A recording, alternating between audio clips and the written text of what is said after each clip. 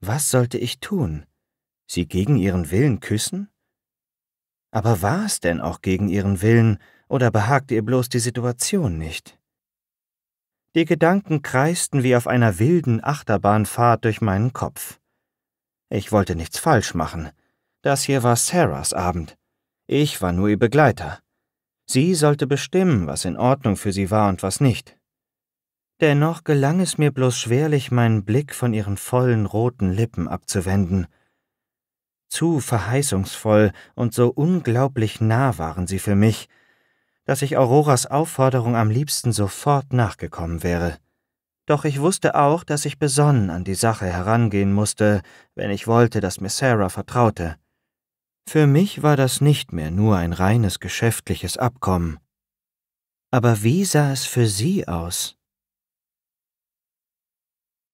Kapitel 11 Sarah Das hatte Mama wieder fein eingefädelt. Ich war noch keine zehn Minuten zu Hause und schon fand ich mich Matt gegenüber unter dem Mistelzweig wieder.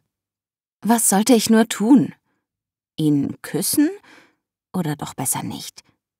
War Küssen Bestandteil unserer Vereinbarung? Oder überschritt ich damit nicht eindeutig unzählige Linien, die nach wie vor zwischen uns bestanden?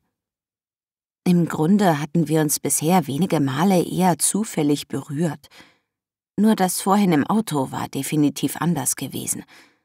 Als Matt mir die Haarsträhne aus der Stirn gewischt hatte, war mir bei dem Gefühl seiner Fingerspitzen auf meiner Haut eine Gänsehaut über den Körper gegangen. Der Moment war so intim und vertraut gewesen.